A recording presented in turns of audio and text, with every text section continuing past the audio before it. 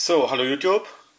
Das gibt hier wohl das letzte Video auf dem Kanal mit meinem guten alten Samsung Galaxy S 4.2 Wi-Fi. Ähm, das ist so ein Media Player von Samsung und mit dem habe ich die letzten zwei Jahre gefilmt. Das ist sowas wie so ein, ja, so ein Gegenstück zu dem iPod von Apple. Also der ist halt äh, WLAN-fähig, also wie so ein kleines Tablet. Und das war mein Universalgerät, einfach für alles Mögliche. Der kann eigentlich fast alles außer telefonieren. Und ja, heute äh, ist so ein bisschen großer Tag, kann man sagen, weil ich habe mir heute, äh, heute Vormittag, mein erstes Smartphone gekauft. Ich hatte vorher noch nie ein Handy in meinem Leben, obwohl ich schon über 40 bin. Und heute früh war ich äh, im Elektromarkt und habe da mal zugeschlagen, Samsung Galaxy S6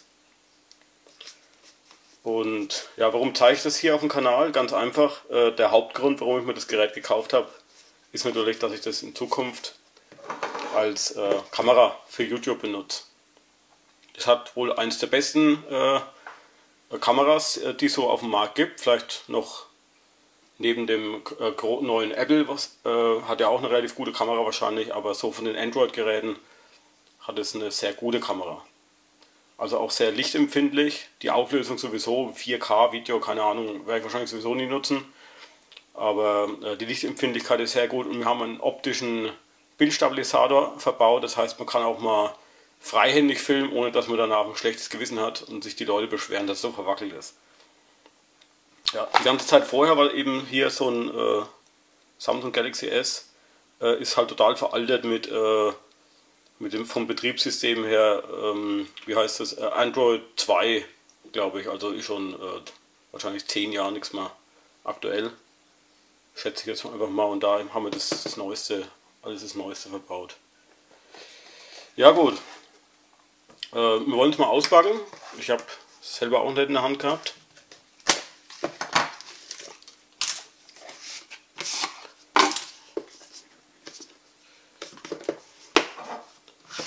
Äh, für mich auch noch vielleicht ein bisschen ungewohnt, weil ich ja eben äh, noch nie ein Handy besessen habe. Ob ich das jetzt immer so einstecke und mit mir rumtrage, kann ich noch gar nicht glauben. Ja.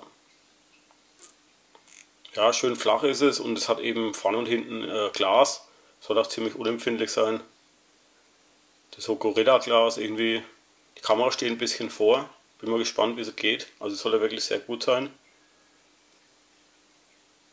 Jetzt hoffe ich mal, dass da auch noch in meine in meinen Adapter für, die, für das Stativ reinpasst, aber so viel von der Breite her macht es jetzt gar nicht so viel aus.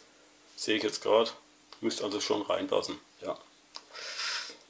Ja, hätte ich mir äh, vor kurzem nie träumen lassen, dass ich mir irgendwann mal ein Handy kaufe und da so ein bisschen von meiner Freiheit äh, praktisch weggebe, weil bis jetzt konnte ich mich immer rausreden mich konnte nie jemand anrufen, mich irgendwo nicht unterwegs war, konnte mich nie einer erreichen, konnte immer machen, was ich wollte. Selber habe ich nie das Bedürfnis gehabt, von unterwegs zu telefonieren. Und äh, ja, Internet, Internetzugang von unterwegs war irgendwie auch nicht so interessant. Es ist halt, wenn man schon, sagen wir mal, ein bisschen älter ist, dann kennt man auch noch die Zeit, äh, wo es das überhaupt noch nicht gegeben hat. Und ja, aber jetzt ist es halt soweit. Und werde wahrscheinlich aber nicht so ein Junkie werden wie viele andere da, wo man so kennt im Bekanntenkreis, sondern das, das Hauptding war eben die gute Kamera und dass ich halt da bei YouTube ein bisschen äh, flexibler bin, dass man unterwegs auch mal vielleicht einen Kommentar schreiben kann oder mal was beantworten kann von unterwegs. Ja, ja wollte ich einfach mal zeigen. Das war eigentlich der Hauptgrund, warum ich das hier zeige, weil das meine neue Kamera wird und dann kann sich jetzt auch keiner mehr beschweren, dass ich nicht in HD die Filme hochlade. Die werde ich wahrscheinlich dann schon in HD hochladen, wenn ich schon habe. Und dann ist das Ganze ein bisschen angepasster. Und Lichtempfindlichkeit ist auch um, um einiges besser. Ich habe ja immer relativ dunkle Videos, wenn das Licht nicht gerade so passt, das soll da also auch besser sein. Könnt ihr mal schauen in Zukunft, wie das ausschaut, das Ganze. Okay. Ja. Wenn jemand irgendwelche Tipps für mich hat, was man damit so machen kann, weil ich eben da überhaupt keine Ahnung habe von solchen Sachen, äh, kann er mal gerne was in die Kommentare reinschreiben.